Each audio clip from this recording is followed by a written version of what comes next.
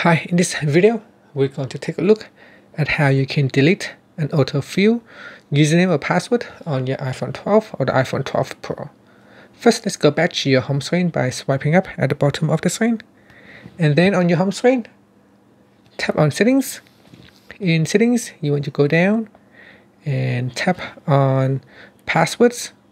And in password, sign in with a passcode or username or face ID unlock and then select on the username or password that you, you that you want to change.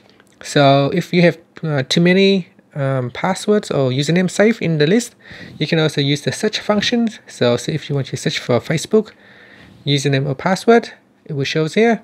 And then you tap on that. And then at the bottom here tap on delete password. Then tap on delete.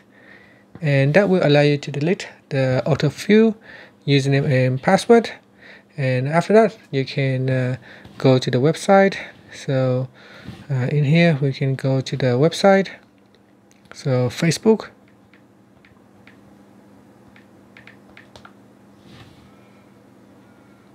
And you can see it's no longer offer you to autofill the username and password. You can still tap on the password right here and choose uh, where you want to retrieve the password information at the moment because in here there isn't any uh, safe password.